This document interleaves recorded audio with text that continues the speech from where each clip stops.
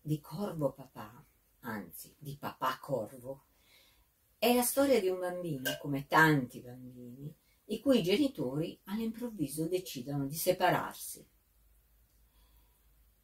È una storia all'inizio molto dolorosa perché il protagonista Francesco non accetta questa separazione, anche se il papà lo va a trovare, lo chiama e a un certo punto decide come regalo per il compleanno di prendere un bellissimo pupazzo di un corvo e questo pupazzo di co- corvo per lui diventa il suo papà, papà corvo. Anche se in realtà non assomiglia per niente al papà, però lui vede in questo corvo il suo papà. Questo corvo lo aiuterà a superare il dolore, ma lo aiuterà anche a farsi degli amici e, e ad accettare questa separazione. È una storia serena, anche se l'inizio è un po' triste. Vedrete che, vi, che la storia finisce bene, insomma.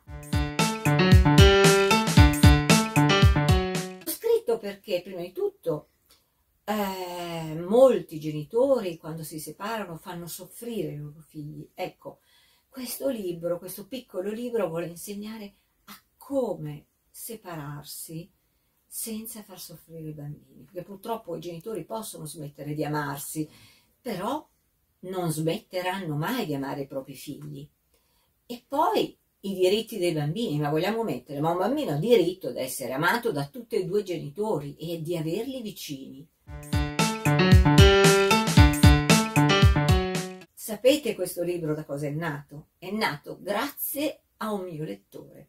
Ero in una scuola a presentare una storia e uno dei piccoli bambini presenti mi ha detto Alessandra, ma nelle tue storie i genitori sono sempre contenti, non, non lasciano mai i loro bambini. Ecco, non puoi scrivere una storia per me.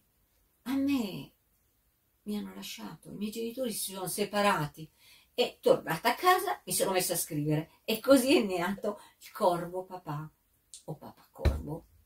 E papà corvo parla anche di tanti uccelli, come questo che vedete qua, di uccelli strani, buffi, ed è bello scoprire le storie degli uccelli. Leggetelo, vi piacerà moltissimo, ne sono certa.